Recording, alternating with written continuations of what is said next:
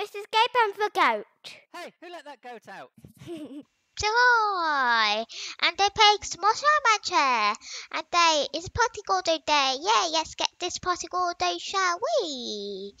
So, today, he is in a good placement. And if you want hunters at least, otherwise, let's go. And go past all the slimes. Hey, hey, slimes! Hey, pink slimes! Hey, yo, tabbies! I'm sure I went past a few rocks there too. And oh, God, God, miss! Quickly, get the food before they all eat it all up. I don't think you're giving them free food today. They're part of a party, Gordo. That's what they're for. These uh, pogo fruits. Anyways, we're almost at the moss blanket now, which has the most weight and probably the most life and definitely the most green.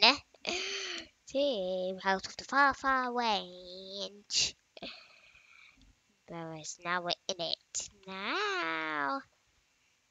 And we're going to go through all these uh, trees and greenery and grass and these pink flowers. Yes, these gorgeous pink little flowers. Oh, I see a tabby. Well, not a tabby, I should say. I should say a hunter. Hey, hey, you're very hungry, aren't you? Yes, you're boy. Anyway, now I'm going to use my jetpack across this big field of water. Well, for some yeah, he's and, and here he is. And if you want hunter slimes, then come here, because if you go that way, I'm backing, when there's a bit through some mushrooms, and that's the best place to get hunter slimes. And they won't be angry too. There's another mushroom area where they are angry at you. And alright, there he's popping. Yay! Let's open up and oh, we have some special lanterns today.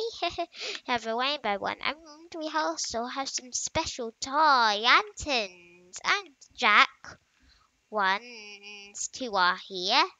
So let's go and see them. Shall we? All these special ones. They sure are special, these Halloween ones. Anyways, good. Jack one looks uh, nice and glittery and shiny. this one looks uh, rainbow one looks nice and well colourful. And the Tarr one looks nice and purpley and also nice and uh, hungry. Wait a minute. we have them holes open so you can see the echo fully inside. cool. yes, that is a way of making them spooky for sure. but anyways, bye.